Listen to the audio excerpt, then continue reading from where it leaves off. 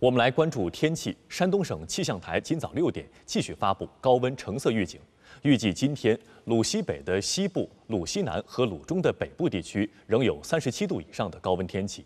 今天傍晚到二十三号白天，山东自西向东将有一次较明显的降雨过程，伴有雷电和八至十级雷雨阵风。鲁西北和鲁中地区局部有冰雹。